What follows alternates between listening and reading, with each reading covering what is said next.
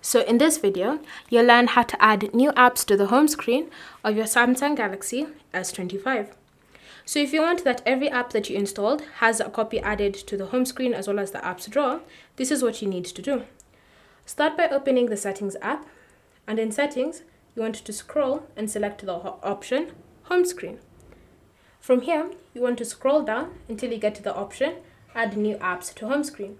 If you don't see it listed in the settings menu here, you want to ensure that you have lock home screen layout disabled.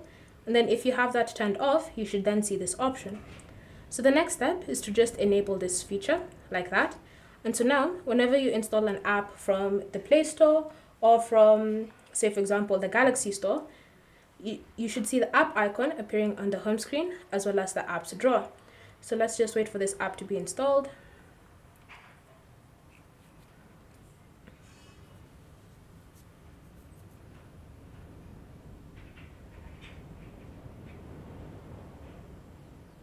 And then you'll notice that when you go to the home screen, you should see the app icon there, as well as in the app screen.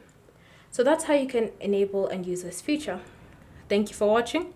If you have any questions or comments, leave them down below and we'll get back to you.